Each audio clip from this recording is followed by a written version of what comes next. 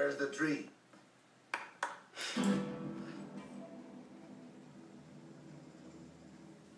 It's, um, okay, what happened is that, um, You said you were going to take care of it.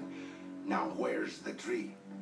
what happened to the tree is, uh, I kind of burned it down.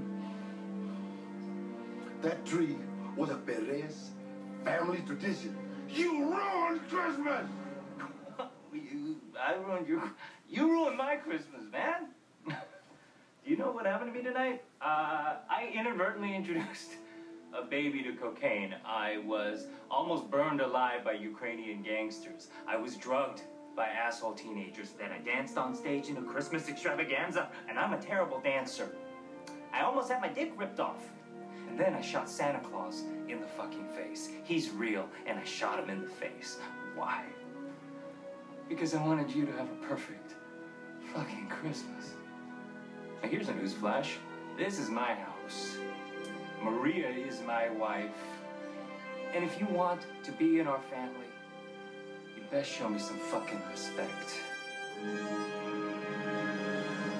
that too much? I like it. Really? Look, I always knew you were a nice guy. That's not enough to be with my Maria. I didn't want her to be with some wimpy pussy.